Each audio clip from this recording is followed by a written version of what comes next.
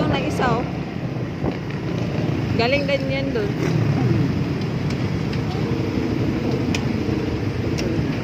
Pareho din na nabili ko.